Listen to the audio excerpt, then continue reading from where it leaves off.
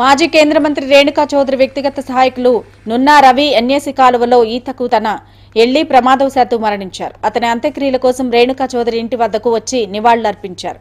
అంతిమయాత్రలో రేణుకా చౌదరి పాడమోసి తన వ్యక్తి సహాయకుని మీద ఉన్న అభిమానాన్ని చాటుకున్నారు.